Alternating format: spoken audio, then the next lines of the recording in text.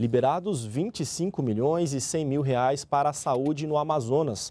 Mais de 22 milhões vão para o custeio de leitos de UTI, adulto e pediátrico e também para gestantes de alto risco.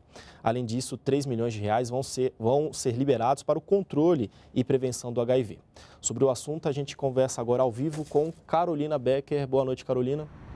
Olá, boa noite. Olha, Dileia, as taxas de detecção de AIDS no Amazonas aumentaram quando comparadas a outros estados. Para você ter uma ideia, em 2002 o Amazonas estava em 12º lugar no ranking nacional. Em 2012 ele passou para o terceiro lugar. Quem vai nos dar mais informações sobre isso é Fábio Mesquita do Ministério da Saúde. Boa noite, diretor. O que, que explica esse aumento no número de casos de HIV no Amazonas? Boa noite, Carolina. Boa noite aos telespectadores da NBR. O Amazonas é, apresentou um crescimento importante, sobretudo na juventude, é, entre jovens gays, principalmente, mas é, foi um estado em que se fez mais diagnóstico nos últimos tempos e onde apareceu um crescimento nos últimos 10 anos muito relevante. Então, ele fica um pouco atrás do Rio Grande do Sul e de Santa Catarina, mas fora a região sul, é o estado onde mais mais cresceu a epidemia de AIDS nos últimos 10 anos. E a que, que se deve esse crescimento? É, nós atribuímos em parte ao fato de que mais diagnóstico foi feito, se saiu um pouco da questão de Manaus exclusivamente, se trabalhou muito nas fronteiras, é, se trabalhou em áreas é, onde se tinha difícil acesso anteriormente e isso explica parte de por que o crescimento no estado foi tão relevante. Você falou que os casos estão concentrados mais ali na, no, nos jovens. Qual que é a faixa etária desse grupo?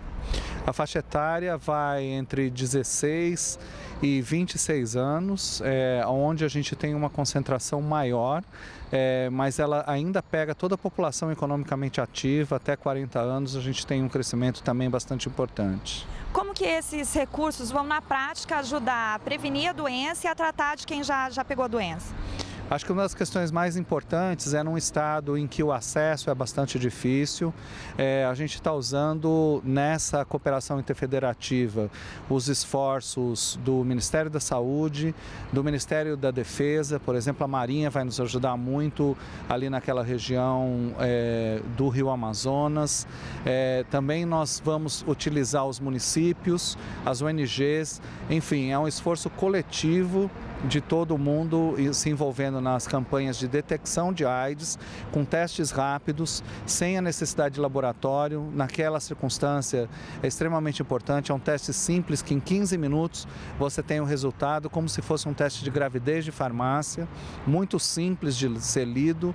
E com isso a gente consegue iniciar o tratamento mais precoce e abater não só o número de casos novos, que hoje a gente sabe que o uso do medicamento ajuda a diminuir a transmissão do HIV, uma vez que a pessoa tem menos vírus circulante porque está tomando medicamento, ela tem um potencial menor de transmitir o vírus. Mas também tem um grande impacto na mortalidade a gente começar a atender mais cedo. E o Amazonas tem uma das mortalidades proporcionais mais importantes de AIDS no país também.